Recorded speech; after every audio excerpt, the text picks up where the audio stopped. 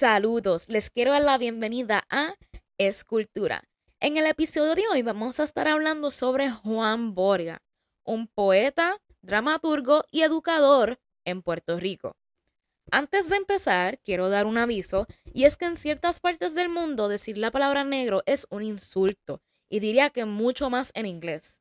Sin embargo, para los hispanohablantes, el negro es un color y aquí en Puerto Rico le decimos así a las personas porque, pues, son negras.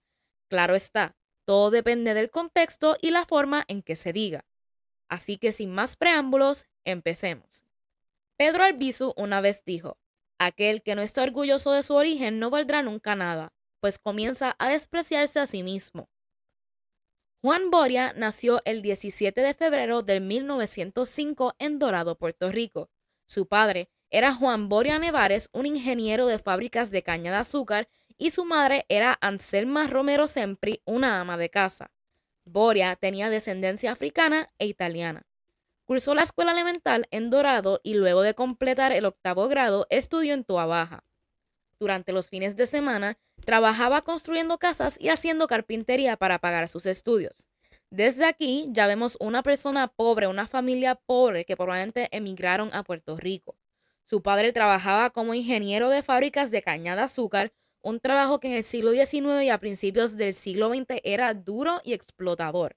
Y su madre era una ama de casa, así que de alguna forma u otra, si querías estudiar, tenías que buscar el dinero. Boria completó su etapa estudiantil preparatoria en la Escuela Superior Central en Santurce en el 1923.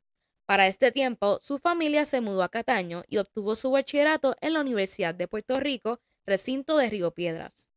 Estudió para ser maestro industrial enseñando arte, dibujo y carpintería. Después de varios trabajos, empezó a trabajar como maestro en el 1937 en una escuela en San Germán. De aquel plantel fue trasladado a la segunda unidad de Campo Rico en Canópanas. Para el 1938, durante un evento en la escuela que trabajaba, escuchó a uno de sus compañeros, Pablo Rivera, recitar el poema negro La Negra Curandera. Este poema le marcaría la vida de tal forma que pidió una copia y después le recitó el poema a sus amistades en reuniones. Al cabo de un tiempo, varias amistades lo incitaron a participar en el programa dominical en la radio Industrias Nativas, que los hermanos Córdoba Chirino mantenían en WKAQ una estación de radio que todavía existe hoy día.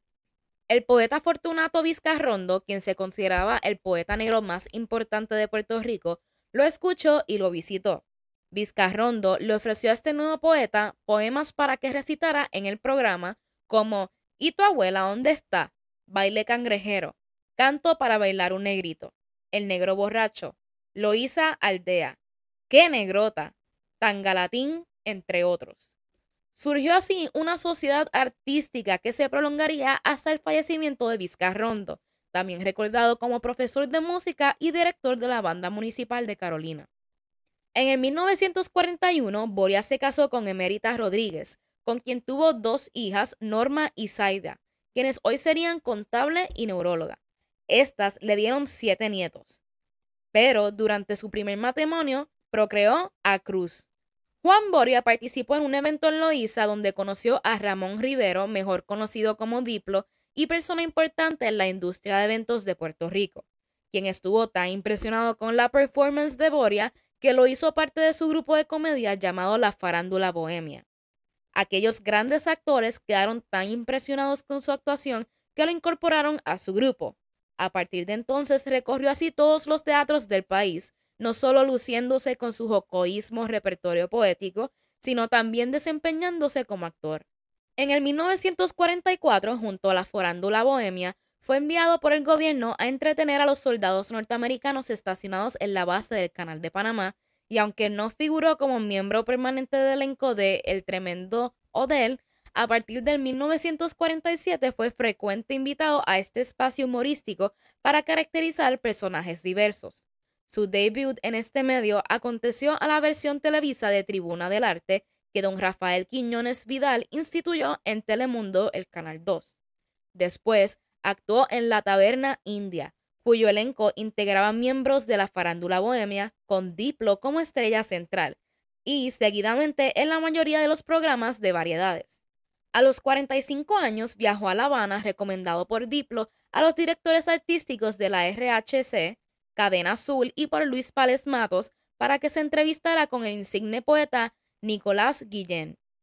Aunque su intención era permanecer 15 días en la capital cubana, la acogida que el público le dispensó fue tan fenomenal que su estadía se prolongó dos meses antes que los contratos le surgieran.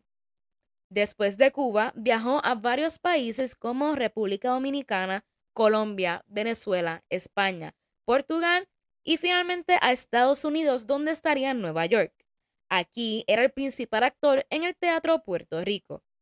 Después de sus viajes, regresó a Puerto Rico para ser maestro de encuadernación en la Escuela Vocacional Miguel Such en Río Piedras. Como buen actor, entre el 1963 y el 1964 salió por primera vez en una película llamada Mientras Puerto Rico duerme, una producción entre México y Puerto Rico y dirigida por Juan Soler. Esta producción fue protagonizada por Arturo de Córdoba, Marga López, Miguel Ángel Álvarez y Marta Romero. Boria también salió en varios cortometrajes de la Diverco.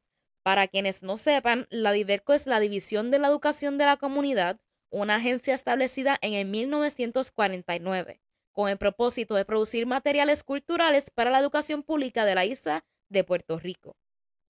Al próximo año, Boria viajaría a varias escuelas, plazas y centros culturales recitando eventos auspiciados por el ICP, que es el Instituto de Cultura Puertorriqueña, pero no es un departamento de cultura del gobierno. Para 1974, Boria se retiraría y abriría su primera tienda en Coupey, pero esto no lo paró de sus actividades culturales. En el 1979 sostuvo tres mano a mano con el cubano Luis Carbonell durante las Olimpiadas Culturales que se celebraron en San Juan, simultáneamente con los novenos Juegos Panamericanos. El séptimo festival de Bomba y Plena se celebró en octubre del 1980 en Dorado, su pueblo natal. Esta edición fue dedicada a él. También, mes y medio más tarde, se le brindó honor con el espectáculo Nuestra Noche, celebrado en el Coliseo Roberto Clemente en Atorrey el 27 de noviembre. A aquel evento se unieron artistas como Will King, los grupos Haciendo Punto en Otro Son, los pleneros del Quinto Olivo y Vivos de Milagro, así como el comediante y trovador David Pumarejo y el actor y locutor David Ortiz Angleró como presentador. Al año siguiente, el Festival de Codazos, instituido por el productor Osvaldo Agüero Fernández, le otorgó el premio a de Oro. Para 1983, el alcalde de Dorado, Alfonso López Char, adquirió el Teatro Juana de Arco en la entrada del pueblo y lo renombró al Teatro Juan Boria, inaugurándolo con un espectáculo a cargo de Ballet Folclórico Nacional Areito, la noche del martes 30 de octubre del 1984. Dos días después, Boria presentaría su primer espectáculo acompañado por Igor Xavier y sus tambores batá. El 29 de mayo de 1995, Juan Boria moriría en Río Piedras, Puerto Rico. Boria, quien a menudo se le conocía como el faraón del verso negro, se identificaba con los trabajos de Vizcarrondo, Luis Pales Matos y Nicolás Guillén. Su repertorio incluía poemas de Emilio Vallagas, María Teresa Valles, Félix B. Cainet, Camín, entre otros. El arte de Juan Boria puede apreciarse en dos producciones discográficas que dejó a su pueblo como legado, Que Negrota y Majestad Negra. Igualmente, el cantautor Bobby Capó, hijo, le dedicó su composición a Juan Boria, que Tony Croato incluyó en su álbum Arrímese mi compay, editado en el 1981. La manera en que Juan Boria declamaba ¿Y tu abuela dónde está? Del poeta Fortunato Vizcarrondo o Majestad Negra de Luis Pales Matos es recordada por su estilo único, tanto que junto a los cubanos Eusebia Cosme y Luis Carbonell es catalogado como uno de los mejores recitadores de la poesía afrontillana. Por ejemplo, en Tu abuela dónde está hay un verso que dice, yo tengo el pedo caído, el tuyo es seda nada más, tu pai lo tiene bien lacio y tu abuela, ¿a dónde está? Un poema donde una persona negra le contesta todos estos versos a una persona blanca que lo trata de abochornar por decir que es negro. El poema es una reclamación al orgullo del color.